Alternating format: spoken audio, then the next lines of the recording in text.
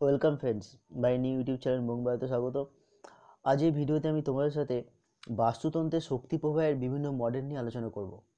বাস্তুতন্ত্র বলতে আমরা বুঝি, কোনো একটি স্থানে যে জীব গোষ্ঠী, তো তারা নিজেদের মধ্যে একটি সম্পর্ক গড়ে তোলে এবং তার সাথে অজয় পরিবেশের সঙ্গে একটি মিথস্ক্রিয়া গড়ে তোলে।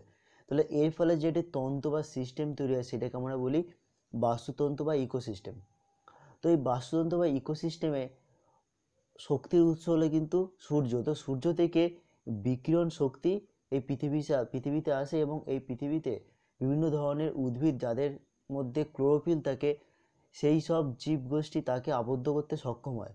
এবং সেই এনার্জি কিন্তু সেই উৎপাদক থেকে বিভিন্ন কনজিউমারে পরস্পর স্থানান্তরিত হতে থাকে। তো এই এনার্জি ফ্লোটা কীভাবে হয়?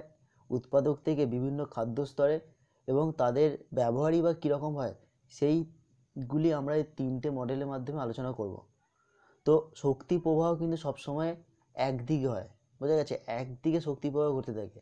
তো থার্মোডাইনামিক্সের ল অনুসারে আমরা জানি শক্তিকে সৃষ্টি বা বিনাশ করা যায় না, শুধুমাত্র এক রূপ থেকে অন্য রূপে পরিবর্তন করা যায়। আর দ্বিতীয় সূত্র থেকে আমরা এটা জেনেছি যে শক্তি থেকে অর্থাৎ শক্তির আধার থেকে শক্তি যদি বিকরিত না হয়, তাহলে সেই শক্তি অপরিহিত থাকবে। তো এই দুটি সূত্রকে মেনে চলে এই বাস্তুতন্ত্রের শক্তি প্রবাহ। সবসময় একমুখী হয় এবং প্রতিটি খাদ্য স্তরে কিন্তু শক্তি কিছু বিকরিত হয়ে এর পরিমাণ কিন্তু শক্তির পরিমাণ ক্রমশ কমতে থাকে। তো এবার আমরা দেখে নেব যে এই এনার্জি ফ্লো মডেল কি কি। না, বিভিন্ন ধরনের ইকোলজিস্ট এবং সায়েন্টিস্টরা কিছু মডেল দিয়ে এই বাস্তুতন্ত্রে এনার্জি ফ্লোকে ব্যাখ্যা করতে চেয়েছেন। তো তার মধ্যে উল্লেখযোগ্য তিনটি মডেল হলো। এক নম্বরে আমরা দেখতে পাবো কি না single channel energy flow model তো এখানে একটা সিঙ্গেল চ্যানেল এনার্জি ফলেন এনার্জি ফ্লো মডেল বর্ণনা করা হচ্ছে। দ্বিতীয় হচ্ছে ওয়াই সেভের এনার্জি ফ্লো মডেল এবং তিন নম্বর ইউনিভার্সাল এনার্জি ফ্লো মডেল এই তিনটি মডেল আমরা এবার দেখে নেব কীভাবে এর মাধ্যমে বাস্তুতন্ত্রের শক্তি প্রবাহকে ব্যাখ্যা করা হয়েছে। এটি হলো single channel energy flow model যেটি ইউনিডিরেকশনাল এবং এর মাধ্যমে কীভাবে বাস্তুতন্ত্রের শক্তি প্রবাহকে ব্যাখ্যা করা যায় সেটা আমরা দেখব। তো খাদ্য শৃঙ্খলে আমরা পড়েছিলাম যে প্রডিউসার শক্তিকে আবদ্ধ করে, সেই শক্তি যায় হার্বিভোর দেন কনজিউমারে যেতে থাকে। বোঝা গেছে? অর্থাৎ হার্বিভোর থেকে যায় কোথায় না? কার্নিভোরে তো টপ কনজিউমারে গিয়ে পৌঁছায়। তাহলে সমস্ত শক্তির উৎস আমরা জানি সানলাইট তো টোটাল লাইট থেকে যে পরিমাণ শক্তি উদ্ভিদ দিয়ে যায় সেটিকে তারা আবদ্ধ করে, অর্থাৎ গস শক্তি হিসাবে তারা আবদ্ধ করে এবং বেশ কিছুটা কিন্তু নষ্ট হয়ে যায়, তারা আবদ্ধ করতে পারে না। যদি আমরা দেখি তিন হাজার কিলোক্যালোরি শক্তি টোটাল শক্তি আসে তো তার মধ্যে উদ্ভিদ মাত্র পনেরোশো কিলোক্যালোরি শক্তি কিন্তু আবদ্ধ করতে পারে।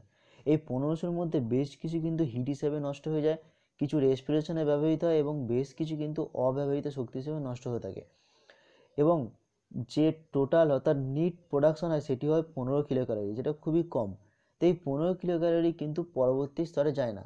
এর মাত্র টেন পার্সেন্ট পরবর্তী স্তরে যায়। কারণ দেখো, এই পনেরোশো কিলো ক্যালোরির মধ্যে কিছু রেসপিরেশনে নষ্ট হয়, কিছু আবার অব্যবহৃত শক্তি অর্থাৎ আবদ্ধ করতে না পারা কিছু শক্তি নষ্ট হয়ে যায়।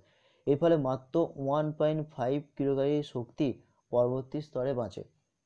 অর্থাৎ প্রডিউসার থেকে যখন হার্বিভোরে যায়, তখন হার্বিভোর মাত্র আগত এনার্জি টেন পার্সেন্টকে সঞ্চিত করতে পারে। এই টেন পার্সেন্ট আবার পরবর্তী স্তরে যায়, এইভাবে প্রতিটি স্তরে কিন্তু এনার্জি পরিমাণ কমতে থাকে।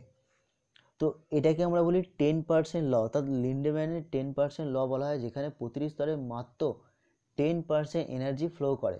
তো এইভাবে প্রতিটি স্তরে এনার্জি পরিমাণ ক্রমশ কমতে থাকে। তো এটি হলো ফার্স্ট মডেল কিন্তু এর একটি ড্রব্যাকস হলো কি, এখানে কোনো রকম ডিকম্পোজারের কথা বলা হয়নি। অর্থাৎ একটি উদ্ভিদ বা একটি প্রাণী যখন মারা যাবে তো তাদের যে এনার্জি সেটি কোথায় যায় এবং কীভাবে ফ্লো করে বাস্তুতন্ত্রে সেটি কিন্তু এখানে বলা হয় না, তো এর মাধ্যমে আমরা ব্যাখ্যা করতে পারব না। সেই কারণে আমাদের প্রয়োজন অন্য একটি মডেল তো বিজ্ঞানী ওডাম নাইনটিন এইটি থ্রিতে একটি মডেল বলেছিলেন, যার মাধ্যমে তিনি বাস্তুতন্ত্রের এনার্জি ফ্লোকে ব্যাখ্যা করতে সক্ষম হয়েছিলেন, সেটি হলো Y shaped energy flow model তাহলে এরপর আমরা দেখে নেব Y shaped energy flow model এটি হলো ওয়াই শেপের এনার্জি ফ্লো মডেল খুবই একটি সিম্পল মডেল যার মাধ্যমে আমরা দেখে নেব কীভাবে এনার্জি ফ্লোকে ব্যাখ্যা করতে পারি। তো প্রথমে দেখো সমস্ত শক্তির উৎস, আমরা জানি সানলাইট তো সানলাইট থেকে শক্তি কোথায় যায়? প্লান্টে অর্থাৎ প্লান্টে শক্তি আবদ্ধ হয়। এবারে প্লান্ট থেকে দেখো ওয়াই আকৃতির যে দুটি বাহু চলে গেছে, তার মধ্যে একটি বাহুতে শক্তি প্রবাহিত হয় গেজিং ফুড চেনের মাধ্যমে। অর্থাৎ শক্তি প্ল্যান্ট থেকে যায় হার্বিভোর হার্বিভোর থেকে আমরা যাই প্রাইমারি কনজিউমার বোঝা গেছে? এরপরে দেখো পরবর্তী বাহুতে আমরা দেখতে পাচ্ছি কী নাম ডেট প্ল্যান্ট থেকে এবং অবশ্যই ডেট ডিয়ার বা ডেট লায়ন অর্থাৎ গেজিং ফুড চেনের যে কোনো ডেট বা মৃত পার্ট থেকে কিন্তু এই ফুড চেনটি তৈরি হয়। অর্থাৎ কোথায় সেই এনার্জিটি যায় সেটি যায় ডেট টিটাস ফুড চেনে এবং এই ডেট টিটাস ফুড চেন থেকে এনার্জি কিন্তু আবার গেজিং ফুড চেনে চলে যায়। অর্থাৎ এখানে ডেট টিটাস ফুড চেন এবং গেজিং ফুডকে দুটোকে আলাদা করা যায় না। এবং এটি কিন্তু মোর প্র্যাকটিক্যাল দ্যান ইউনিডিরেকশনাল কারণ ইউনিডিরেকশনে বলা হয়েছিল শক্তি একই দিকে মুভ করতে থাকে। অর্থাৎ একটি সিঙ্গেল খাদ্য শৃঙ্খলের মধ্যেই সীমাবদ্ধ থাকে। কিন্তু এখানে দেখানো হয়েছে একটি খাদ্য শৃঙ্খলের মধ্যে নয়, দুটি খাদ্য শৃঙ্খলের মধ্যে কিন্তু এনার্জি সীমাবদ্ধ থাকে। অর্থাৎ এটি একটি ইউনিডিরেকশনাল মডেল নয়। বোঝা গেছে? এবং এখানে আমরা দেখতে পাই কি, সমুদ্রের বাস্তুতন্ত্রে গেজিং খাদ্য শৃঙ্খলের মধ্য দিয়ে শক্তি প্রবাহ কিন্তু ডেটটিটাস খাদ্য শৃঙ্খলের থেকে অনেক বেশি হয়। এবং অরণ্যের ক্ষেত্রে কিন্তু এর ঠিক উল্টোটা হয়। অর্থাৎ এই গেল হচ্ছে ওয়াইসেপের এনার্জি ফ্লো মডেল এরপর আমরা পরবর্তী মডেল দেখে নেব। এটি হলো ইউনিভার্সাল এনার্জি ফ্লো মডেল তো বিজ্ঞানী ওডাম নাইনটিন এইটটি থ্রিতে এক চ্যানেল অর্থাৎ সিঙ্গেল চ্যানেল এবং ওয়াই আকৃতির শক্তি প্রবাহ চ্যানেলকে একসাথে যুক্ত করে একটি মডেল উপস্থাপনা করেন। তাকে আমরা বলে থাকি সার্বজনীন শক্তি প্রবাহের মডেল অর্থাৎ ইউনিভার্সাল এনার্জি ফ্লো মডেল তো এই মডেলে দেখো, একটা টপিক লেভেলকে কিন্তু ব্যাখ্যা করা হয়েছে। অর্থাৎ একটি খাদ্য শৃঙ্খলের পার্টিকুলার একটি টপিক লেভেলে কীভাবে শক্তি ইউজ হয় বা ব্যবহার করা হয়, সেটা দেখানো হয়েছে এই মডেলের মাধ্যমে। তো এখানে দেখো, প্রথমেই দেখা হয়েছে ইনগেশন মানে আরোপিত শক্তি। অর্থাৎ একটি খাদ্য স্তরে যে শক্তি প্রবেশ করে, তার অনেকটি অংশ ইউটিলাইজ হয় না, নষ্ট হয়ে যায়। এবং কিছু তারা অ্যাসিমিলেট করে।